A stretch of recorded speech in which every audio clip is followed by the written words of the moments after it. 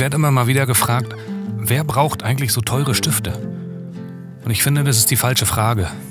Braucht jemand meine Stifte? Nein. Schönheit hat nichts mit Brauchen zu tun. Es geht um Wollen. Schönheit ist ja keine Notwendigkeit, sie ist mehr als das. Wir tragen alle ein Verlangen nach ihr in uns und wann immer dieses Verlangen erfüllt wird, wird unser Leben um genau diesen einen besonderen Moment reicher.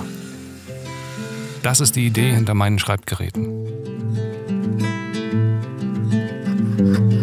Ich könnte lang und breit darüber sprechen, wie ich sie herstelle.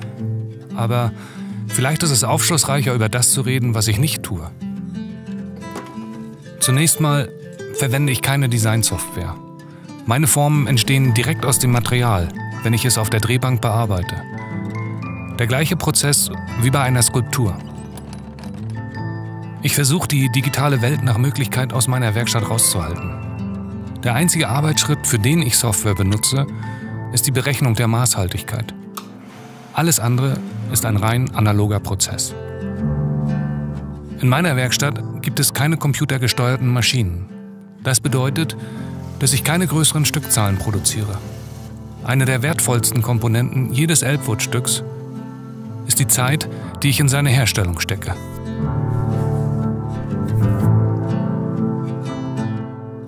Benutze gern charaktervolle Materialien für meine Schreibgeräte. Und was könnte mehr Charakter verleihen als ein kleines Stück meines eigenen Lebens?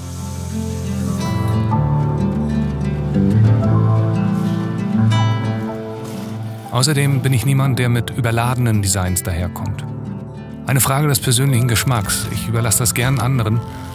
Das ist nicht mein Stil. Für mich ist ein Stift vor allem ein Instrument. Ich finde, er sollte nicht wichtiger sein als die Hand, die ihn führt oder das, was mit ihm geschrieben wird. Letzten Endes ist er ein Werkzeug, das Ideen eine Form gibt. Oh, und ich mache keine Gravuren. Manche finden das schade, aber ich habe dafür viel zu viel Respekt vor dem Gravierhandwerk. Ich selbst beherrsche diese Kunst nicht und denke, dass eine Lasergravur eh nur der Versuch ist, Massenprodukte zu individualisieren.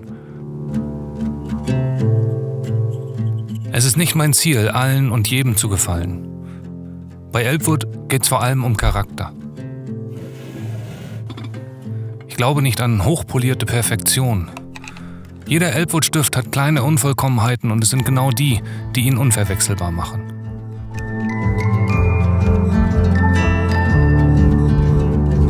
Im Lauf der Zeit werden die Materialien Ihres Schreibgerätes durch ihre Berührung sichtbar altern.